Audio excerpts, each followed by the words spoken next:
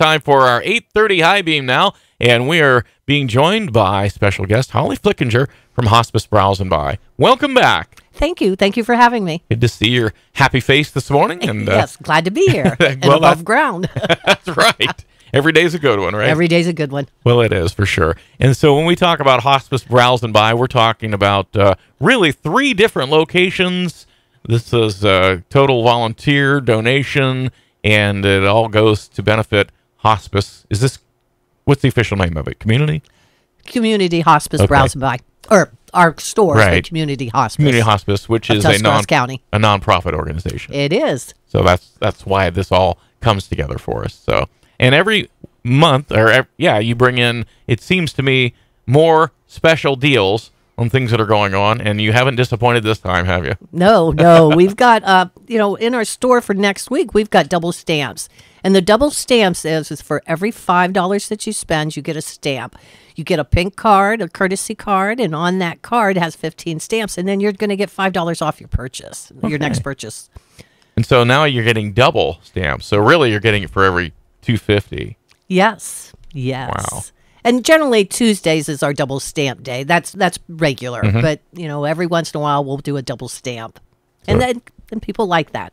I- I'm sure they do. Yes. Right. So make sure if you're a new shopper, make sure you get that. I'm sure you won't uh, you guys won't forget to give them one. No, they'll ask. Yeah.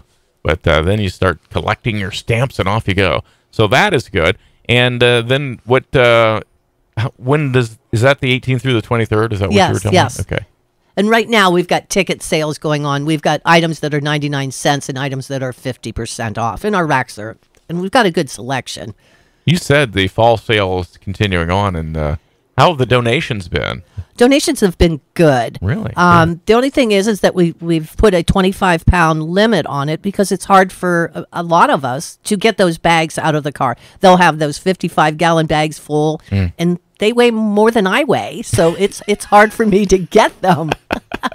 Absolutely. if you loaded the truck with a forklift to get it there, that's going to be a problem after you get there. But That yeah. will be a big problem. Yeah. And what's going to happen is, is we're going to have to uh, break those down before you even get them out in your car. So we'll give you other bags, and you're going to have to sort through Yeah. them. So you know it won't be just a quick drop off for them. So you know we want to make the process to go faster. So if they could be reasonable with their weights. I'm sure everybody would like to comply with that. Yes. So we'll uh, we'll ask you to do that. Um, cover each store for a moment. How are things at Uhrichsville? and What's what's happening there? Well, our Uhrichsville is doing well. We just did the fall event that the Uhrichsville had, and we did very well with our lot sale.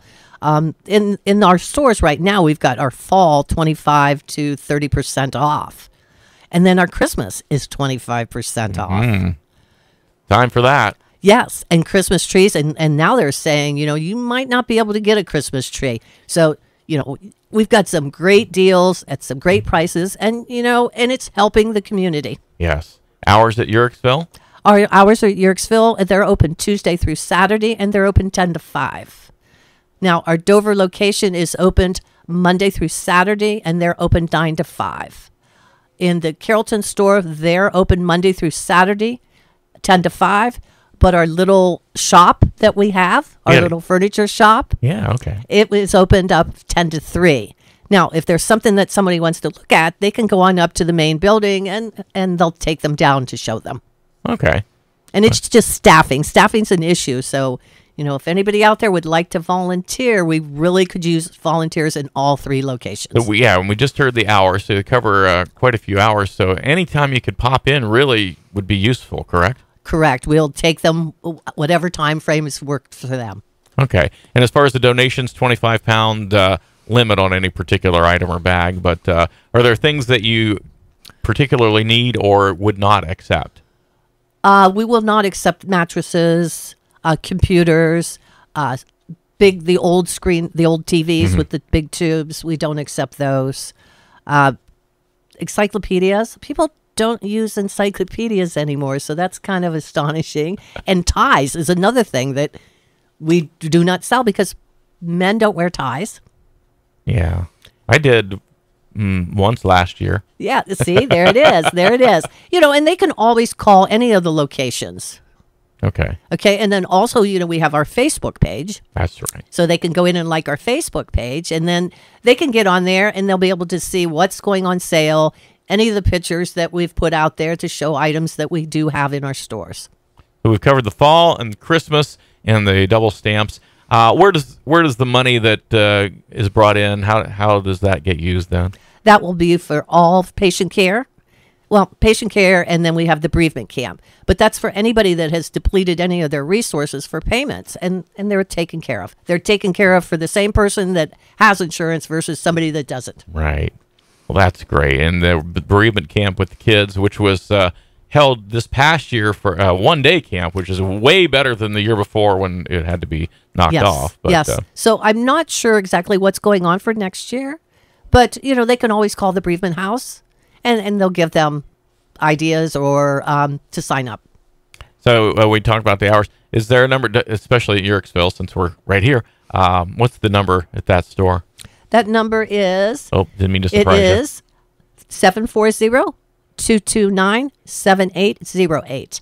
All right. So any question you might have, somebody there can take care of you. And you're there sometimes. Yes, I am everywhere, and I've got customers that go, "I just seen you in, in Dover, and you're in Carrollton." Yes, I know. I, I will hit all three stores some days. So yes, I'm I'm everywhere. But to know that, they would have had to been in both spots too. So.